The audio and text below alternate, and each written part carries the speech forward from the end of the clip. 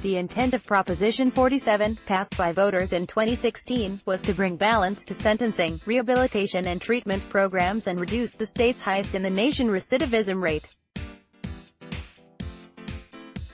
Associated Press file photo, as a former police officer and retired Superior Court judge, I understand some of Morgan Hill Police Chief David Swing's frustration. Time to admit, criminal reform measure not working.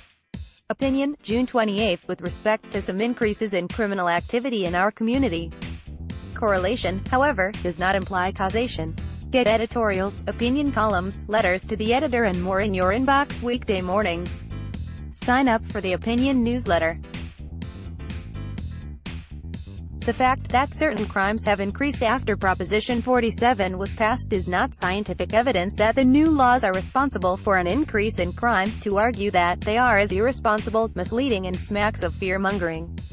Ad choice advertising in red invented by Teads Let's remember why voters overwhelmingly passed Proposition 47. Our prison population had been exploding for many years, the U.S. Supreme Court found California's prisons to be severely overcrowded and in violation of the Constitution. Either prison populations had to be reduced or more prisons had to be built. The public, contrary to the urging of the criminal justice community, balked at the expense of building more prisons, where the cost per prisoner, per year, is approximately $71,000. The parole failure rate, meanwhile, continued to run consistently in the 60% plus range, suggesting that the lock 'em up philosophy of the 1980s was not working. Further, the public has come to realize that prisons do not offer rehabilitation services, and that not every prison offers substance abuse counseling and literacy training. Substance abuse is the true driver of crime, and a released prisoner who is not clean and sober and cannot read is destined to fail and return to prison. Stating that Proposition 47 is responsible for a reduction in arrests and prosecutions without sound evidence for this assertion suggests to me that the police and district attorney aren't doing their jobs because they are unhappy that criminals are receiving more lenient sentences.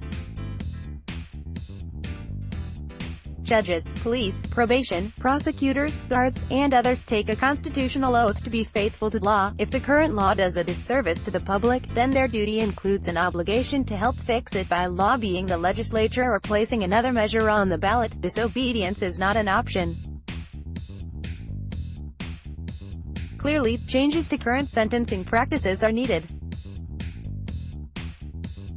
A misdemeanor defendant can be placed on probation for up to a year per crime. Nothing prevents consecutive sentencing where multiple crimes have occurred. Nothing prevents forcing defendants to participate in substance abuse programming with some custody consequences for failed drug tests. Misdemeanants can be placed on formal probation with monitoring and other requirements. A defendant can be sentenced to between six months to a year of custody per offense depending upon the crime. Sometimes a sentence on the longer end is appropriate. In some criminal cases, it takes more than a year to achieve consistent sobriety. Therefore a change is needed to allow for longer periods of probation and incarceration. Yes, it is necessary to tweak some of the sentencing options changed by Proposition 47, but we should base these on scientific evidence and not just a need for feel-good legislation or to shame legislative candidates into supporting harsher sentences that have proven ineffective just to obtain votes.